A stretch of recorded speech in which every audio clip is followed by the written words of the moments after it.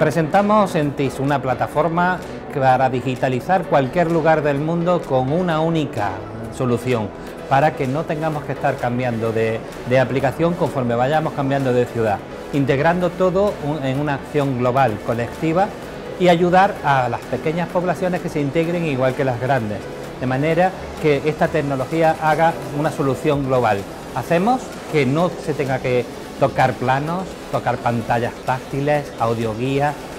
Damos la solución que realmente se necesita y al ser una plataforma global es muy importante. Es muy muy económico y accesible para cualquier población del entorno rural, tanto aquí como en Latinoamérica o en cualquier lugar. Presentamos en Fitur y lanzamos la plataforma tecnológica, la lanzamos en Fitur y lo que lanzamos fue el proyecto Andalucía Smart Destination.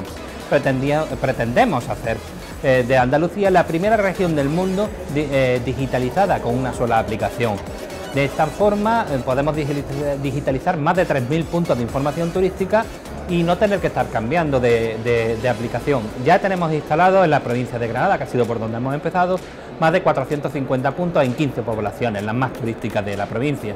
Y lo que pretendemos es digitalizar con esta tecnología pues eh, el mundo entero. Por un lado, nuestros clientes son los organismos oficiales, eh, que son realmente nuestros prescriptores, porque eh, hacemos un, modelo de colaboración público-privada para que de esta forma los ayuntamientos, que evidentemente la economía después del COVID ha sido muy dañada, pues puedan hacerlo y den el primer paso para digitalizar la ciudad y seguidamente nuestro modelo de negocio se basa en unas pequeñas cuotas muy pequeñas de céntimos al día de los establecimientos que se adhieren a esta plataforma para poderlos digitalizar también porque es fundamental. Pues eh, TISCO es fundamental eh, eh, para los tiempos que vivimos. Está claro que el turismo ha sido un, gran dañado con la pandemia y tener referentes internacionales como este evento es muy interesante para que se conozca la tecnología.